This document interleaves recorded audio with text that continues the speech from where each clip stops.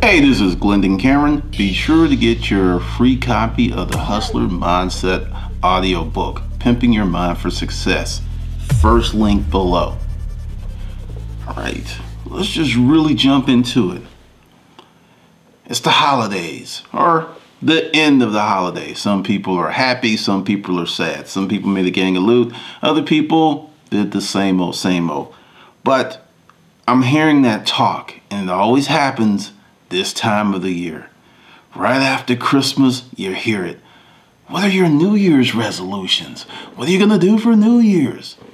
The truth of the matter is, real hustlers don't have fucking New Year's resolutions because if you're in a state of dynamic hustling, whenever a challenge or something presents itself, you take action.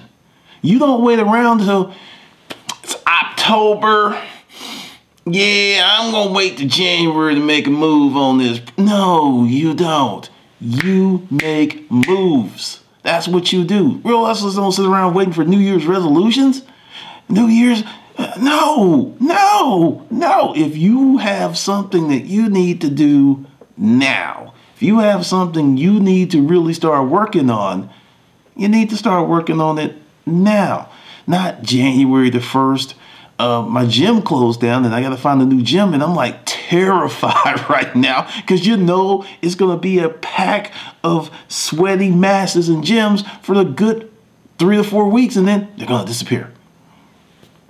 It's just nuts. So ask yourself this. If there's something you need to improve on, if there's something you need to fix, or is there something you need to be to make better, why would you be waiting around for some arbitrary date to take action?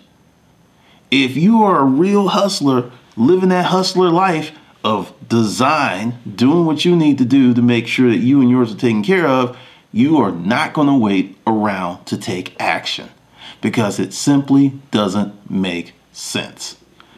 Just saying. So if you want to up your hustle, you want to up your game, you want to up your knowledge base, join Hustlers University today. The link's below. Once again, this is Glendon Cameron. I'll see you on the good side.